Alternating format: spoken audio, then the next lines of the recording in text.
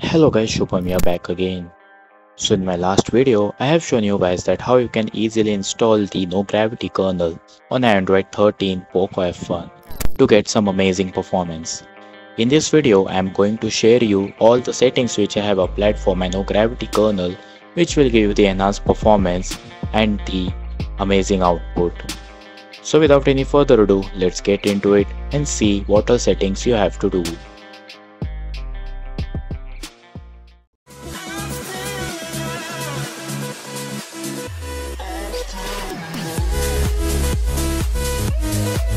At the very first time, let me show you that I am running on the latest CRDroid version of Android 13.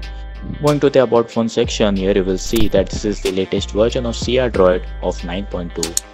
Tapping on that this is the Also moving further you will see that I am running on the no gravity kernel of version 4.9.3.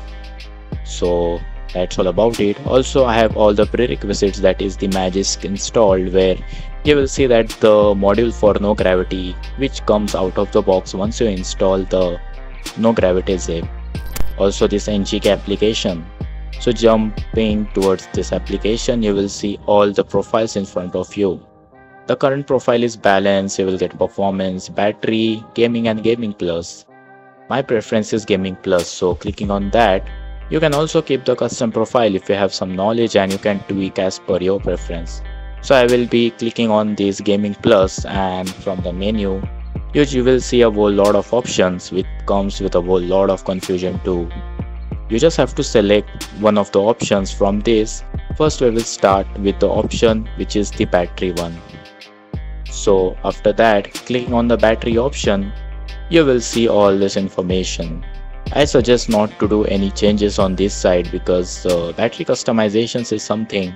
If you are not aware of it and you do some changes to it then it might just mess up your battery and it will it might not work or just malfunction your battery performance. So better not to touch this. Moving further you have to click on the kernel. Clicking on that the very front in front option you will see the optimize apps once you click on that you will see that all the apps are getting optimized and that's something you have to do first as a good one. Moving further you will see all the options in thermal. You have to select the no gravity thermal so that you will get a good performance overall. And ZRAM or better said as ZRAM where you just have to select. This actually says that the space you will be giving to this will actually store the applications in the background and it won't get eliminated. So this is just like the concept called as the VRAM where you will get the virtual RAM. So in my case I have selected the 512 MB. Going further you will get all the options. This is the PUBG HDR plus extreme config unlocker. Let me tell you that enabling this option might also let your game crash sometime. So in case it doesn't work then don't panic you just have to disable it and you will still get a good performance in your gaming. So these all settings are related to kernel. So you can see the optimization of applications has been done. Going further you just have to click on the smart throttling you have to enable the ngk smart throttling smart throttling is something good and it will give you the best performance. So you just have to click it and after that you just have to select the no gravity app enabling that toggle you will see the overlay. And this overlay something will give you a notification about throttling and all the other stats. So that's something good. After that you have to enable the ngk stats overlay where you will get the stats of whatever you have enabled such as the fps counter cpu performance battery performance and all such other stuff. So that's all the setting you have to do over here now next is about the stats overlay. From here you can select all the options which you want as an overlay. So you can see NGK stats overlay is enabled and in my case there's a lot of option but I will select the frame rate as an overlay. Once you select this you will see that the frame rate will get counted. As of now it's on idle but when you start playing game it, you will see that it's getting counted there is a whole lot of options in overlays but you can just select whichever is useful for you as per your preference. So that's how it works. So moving next is about the gestures and these options are something which is completely as per your personal preference. I personally haven't kept any type of such options. So that's are all the setting which i have kept. Now the next step which is the last one is just you have to restart your device as all the settings will apply on the boot so you just have to restart your device and once your device gets restarted you will see all the settings are getting applied so that's all you have to do to get your settings applied. But there's a small catch. Sometimes the settings you have applied or you have enabled take some time to get reflected.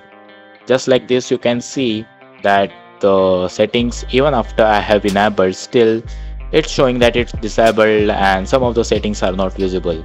The reason for that is you have to give some time so that the kernel gets settled and gets optimized as per the settings you have done after the reboot and slowly it will get settled to the settings you have done.